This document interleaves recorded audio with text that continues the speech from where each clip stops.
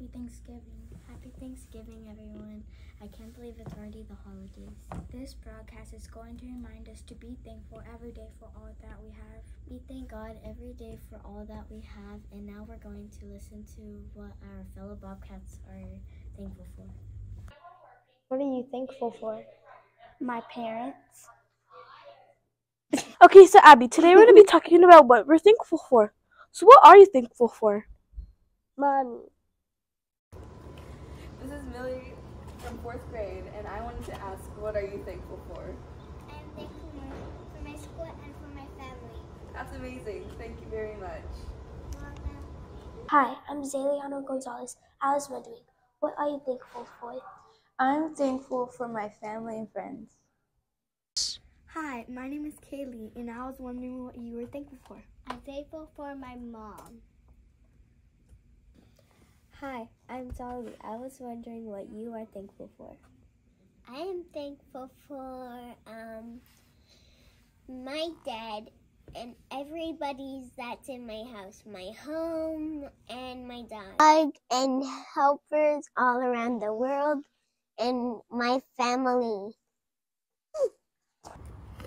What are you thankful for? I'm thankful for God and my family.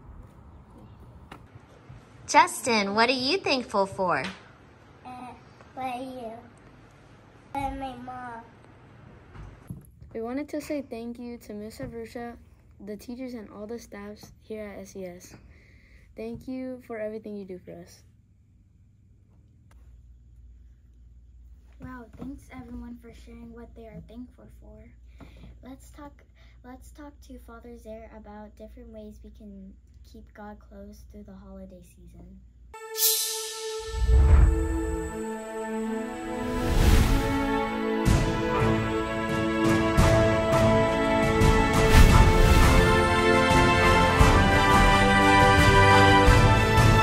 My name is Austin Kring. This is Father Zaire. Thank you for coming on your day off. You're very welcome. Um, Happy to be here. I have three precise questions for you. First question How does being thankful make God happy? Okay, how does being thankful make God happy?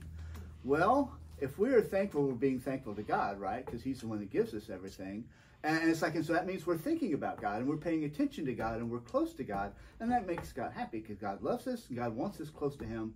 And, uh, and He made us for Him. And so it's like, you know, we're where we're supposed to be. And, and we're becoming what He wants us to be.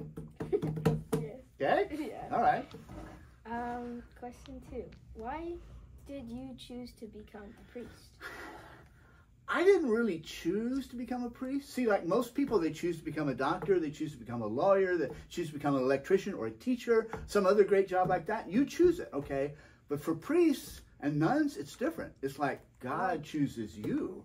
And so you just have to say yes. And God takes care of the rest, okay? God's, it's like, you know, again, I, I'm a person that's very shy. I don't like to talk to people. I, I, I like to stay by myself, and that's not what priests do. Priests have to do something very different. And I, I couldn't do it. And, and when God says, want you to be a priest, I went, no, because I can't do all the stuff a priest does. He says, you just say yes, I'll take care of the rest. And sure enough. And again, if this is what he calls you to, priest or nun, best job in the world. No regrets. Used to be a computer programmer, dropped it and became a priest, never regretted it. It's insane. Yeah. And what does growing gratitude mean to you? growing gratitude well that could mean like two different things okay for for one thing it could be like well when i was young i was grateful for the stuff that i had for the food i had and the, the place to live and the family and the friends and, and and and stuff like that and i was grateful for it but as i get older my gratitude is growing okay it's getting bigger because i realize how precious this stuff is how great it is how much god must love me to give me all this stuff because i don't earn it Okay, it's, it's a pure gift from God. And it's like uh, the only way I can repay him is with gratitude, saying, Thank you for this great stuff, you know, and then try and do what he asked me. And so my gratitude is much greater now than it used to be. So my gratitude is growing. That's growing gratitude there. Okay, that's one way of looking at it. The other way is looking at it, and looking at it is, it's like, okay, kind of like a, a farmer grows crops, okay? And kind of a priest kind of grows gratitude. Okay, so I go, I go out there and I, I show God to people and I show, like you guys, okay, I show God to you and I, and I explain what He's done for us, how much He loves us, the promises He has for us, and y'all's gratitude towards God gets bigger. Y'all's gratitude towards God grows. Okay, so I'm kind of I'm kind of growing gratitude in you guys by showing you who God is and, and, and how much He loves you and what He's done for you. So it could be either one of those or both of them. Doesn't have to be either or, it can be both and. So it's both the gratitude that is growing in me and the gratitude that I am growing in you. Okay?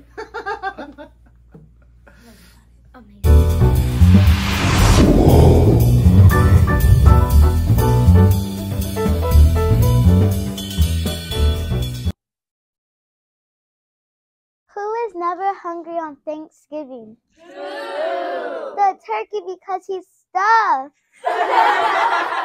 Thank you, Bobcat, for sharing with us what you're thankful for. We hope you have a safe and happy holiday. Thanks for watching. Make, Make sure sure you you like, like, subscribe, and turn on those post notifications. notifications.